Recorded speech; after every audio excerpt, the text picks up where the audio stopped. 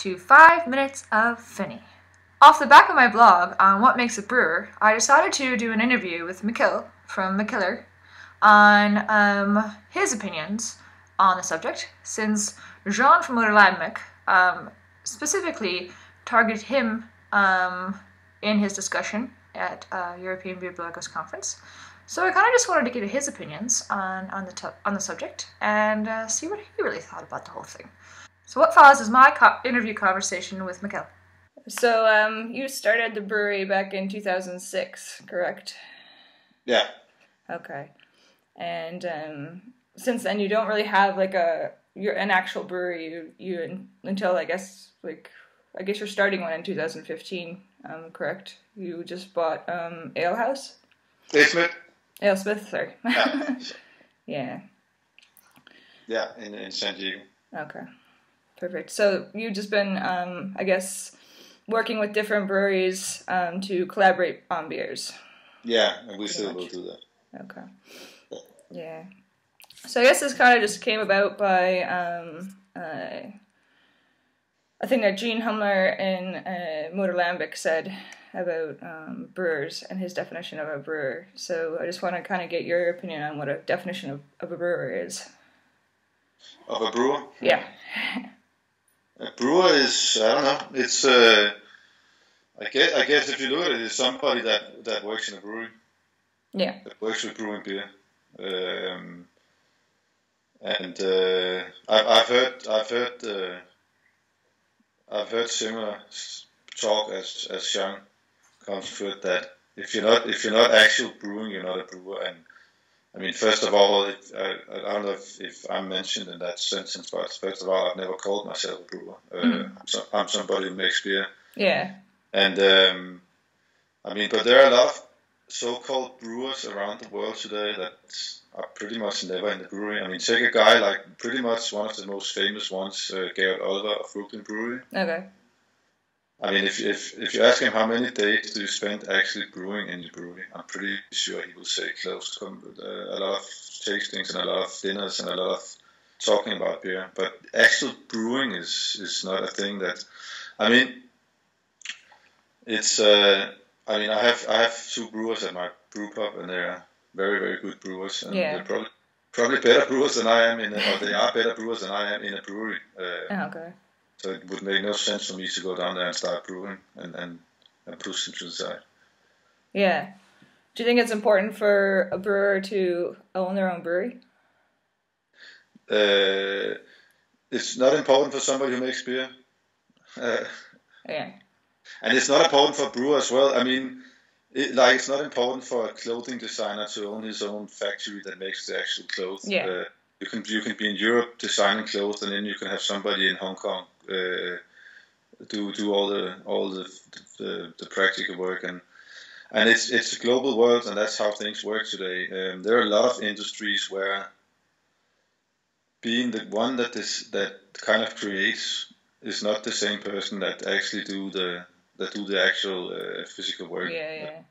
And I think that's fine. I mean, it's uh, for me. It's if if I first of all, if, if I had to brew all my all the beers myself, I would have to have at least hundred hours in a day because that's impossible.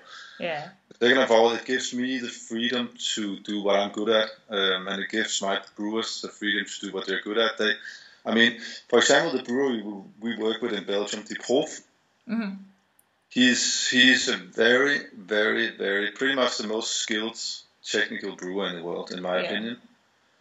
But he's not very happy about doing recipes, and he's he doesn't want to sell beer, and he doesn't want to want to be creative. Okay. Uh, he wants to make the best possible pro- products from the stuff that I give him, which is recipes and ideas, and and we collaborate on that. And I think that's the perfect way of making. I mean, that that's pretty much the ideal way of making beer or things in the world to to, to collaborate with people that that are better than yourself in what they do. Yeah. Yeah. So to have like a person who knows what they're doing as far as making the recipes and coming up with the ideas, and then have a person who's Yeah. a good technical brewer and able to able to come up with those or actually put those recipes, you know, into play. Exactly. Yeah. It's, it's and it's the same with with if you take Jean uh, Hummler from uh, from Molenbeek, as as you mentioned. I mean, in my opinion, he he owns bars. Yeah. But I've never seen him in, behind the bar serving the guests. I've been to his bars many times. I've never once been served by him. Yeah. Um, and I, I think the reason for that, I think, is that he knows that his his time and his skills are better at other places, managing the bar, Yeah, yeah. doing the accounts and stuff, and, and getting the beer and talking to brewers. And and then he has good bartenders that know a lot about service and know a lot about beer and know a lot about talking to guests. And I think that's perfect. He, he found good ways of collaborating with other people as well, and and became better at what he's doing. Yeah. And I think and it's it's the same. I think it's the exact same thing with with with brewing. Um, that that find some. I mean, Mikkeller is a is a fairly big company now. Uh, I have a lot of employees, and and obviously brewing is not what I spend the most time on anymore because it's it's not possible for me. I, I have I spend time on creating stuff, and we have make we have bars and we have restaurants, and so yeah. Yeah. So, what is your plan then with the AleSmith? Just to have another site to brew beer, or Actually, the plan for Ace uh, for the AleSmith brewery that it's it's we, we obviously didn't buy the AleSmith brand. It's only Yeah, the, the, no, the yeah, actual exactly. brewery. Uh, is to brew beer for the American market. So Okay. it's not going to change anything in Europe. We are still going to do the exact same. Or we're going to do as much beer as we do now uh, in Europe at the Proef and Lervig and all the other places. We're also going to brew. We also brew at other places in the states. We're not going to change that. It's it's just going to be an addition to what we do already, because we we have a we have a fairly good name in the states, Yeah. uh, and and it's hard for us to to fulfill what we would like to fulfill in the states, not having a brewery, because the beer becomes a lot more expensive when shipped from Europe yeah, Uh, yeah, for sure. and it becomes less fresh. So the, the purpose of AleSmith is actually to have a place where we can produce beer locally for the local market. Okay. And as much as we can sell in, in California as possible, the, the better it is.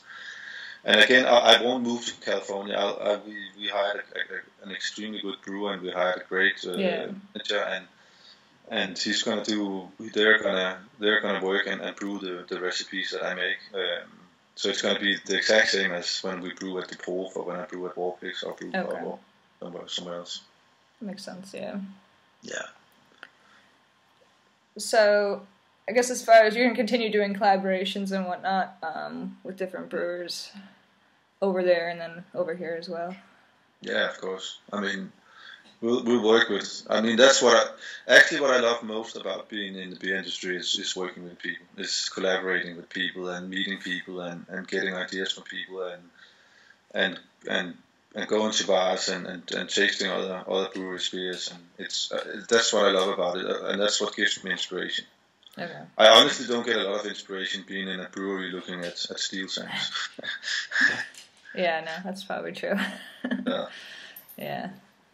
Um, you know, so do you have anything interesting coming in the works as far as beers? We have a lot all the time.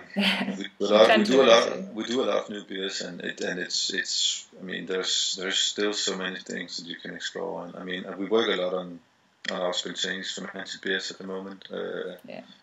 And we work a lot. We work on a new restaurant in Copenhagen where we'll do we'll we'll, we'll do and serve beers in a little different way than we have done so far, which will be interesting as well.